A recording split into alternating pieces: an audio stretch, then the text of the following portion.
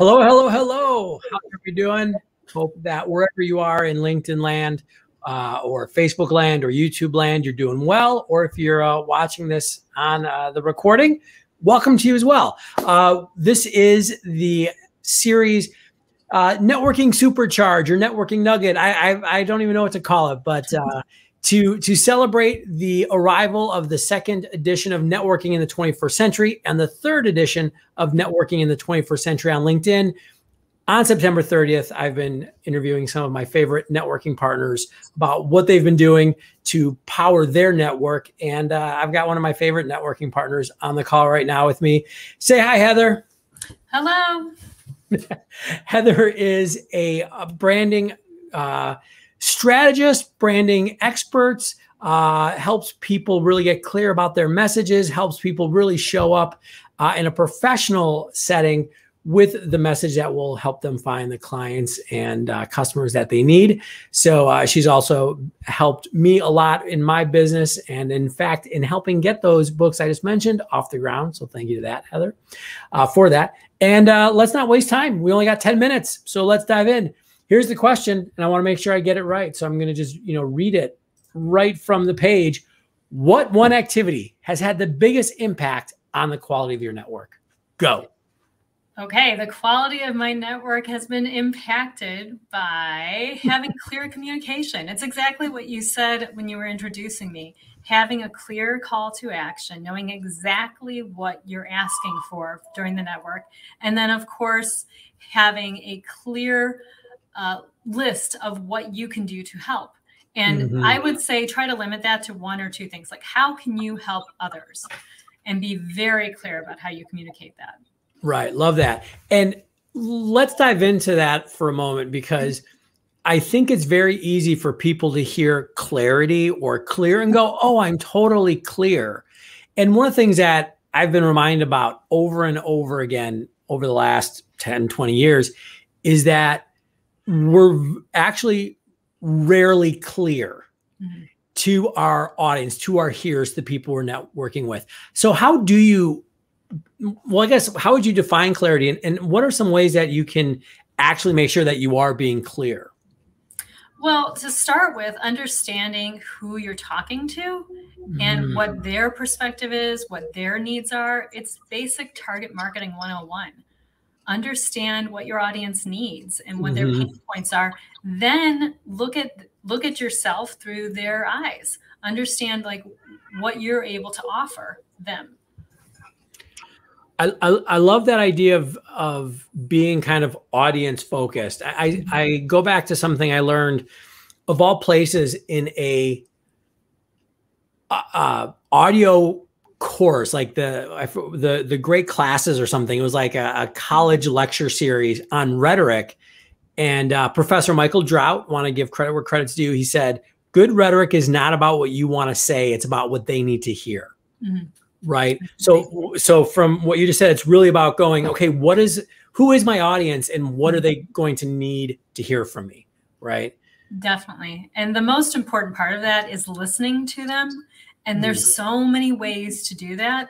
One on one conversations are great. Find someone who is an ideal audience member, that's a colleague, a friend that you can talk to, and ask mm-hmm. them like what is someone in your position needing what are you looking for what what are your pain points and then also listening online social media is a wonderful tool if you can be listening to the people and the organizations that you can serve and see what they're talking about, they'll tell you what they want to hear. I love that idea.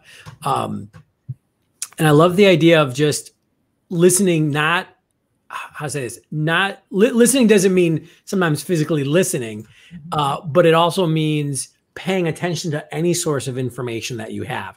So like online is great. I, I uh, you know, whether it's social media, LinkedIn, or even kind of looking at the the blog articles that mm-hmm. kind of are resonating with that target audience. I, I, would even get so far as say one of the things that can be really important is go, what are the words that seem to be popping up a lot?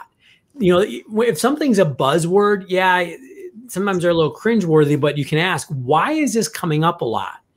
right? Like, what is it about the people that are in my market that why is this important to them? Right. We really can't get away from keywords in SEO, even in conversations with humans. it's, it is, there's a reason why those are so important is that they tell you the words that you should be using. They mm-hmm. tell you if you're giving a clear call to action and you're not using the way they describe something, if you know if you're describing like we just had a lovely holiday weekend um, you're describing a grill as a flame inducing cooker right you really want to hear the words gas grill right. Which one is going to resonate with them? That uh, exactly. I, I think it's really important even if we don't think about this as seo for the human mind it really is.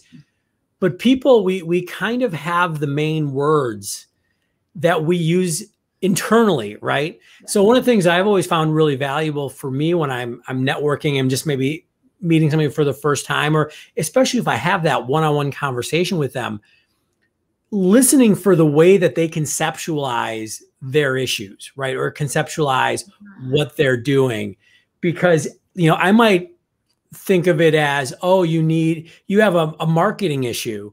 But if they talk about branding, then I need to use the word branding, even though you know I want to be like, well, no, it's it's marketing, or if I think it's a sales issue, I, right? It can't be again what I want to say. I'm like, hey, whatever they need, whatever conceptualization they have internally in their mind, mm-hmm. I hmm. have to connect with that. Does that make sense? Yes, that makes perfect sense. I agree with that.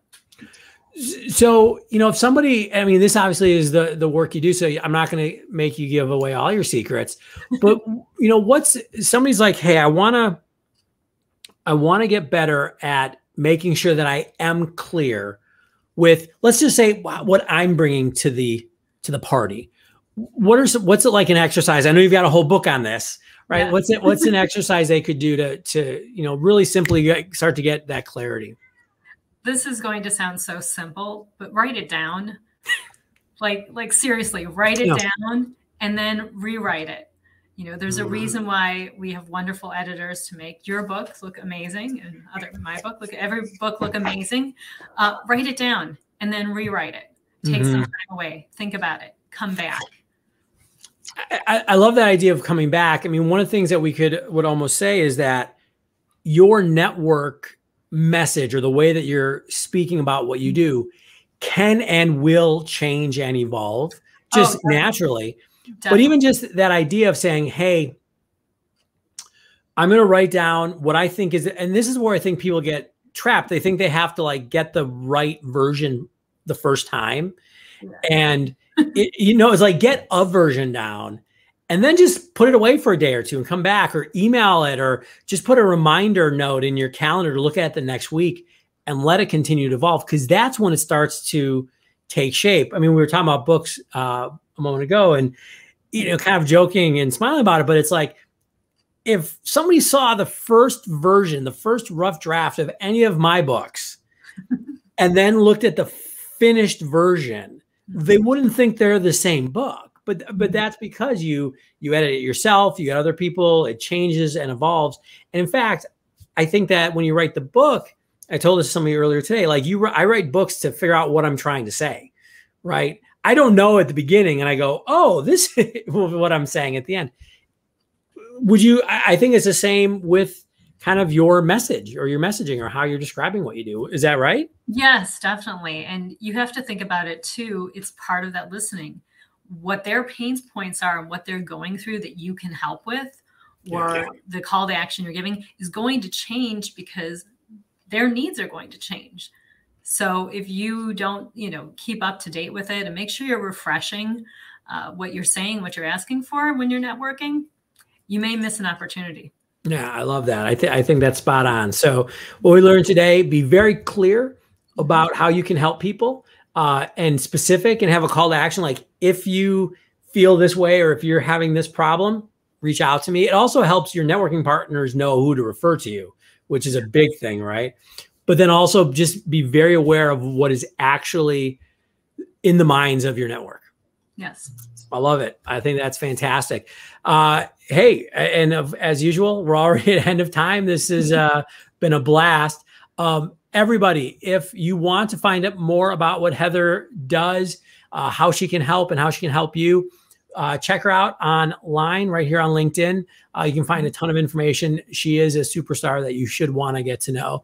And of course, I got to tell everybody uh, the books are going on sale September 30th, the end of this month. Super excited. Um, we're going to continue to come live uh, a couple times a week. I think we've got another one. I think on Thursday. I'm not sure. Just be here and uh, or just catch them all up on uh, YouTube in the recordings because I know it's tough to to find a few minutes in the middle of your day. Uh, Heather, thank you so much. Uh, I really appreciate you taking that time out of your day to share. And everybody, that's it. Have a good one. Bye. Thank you.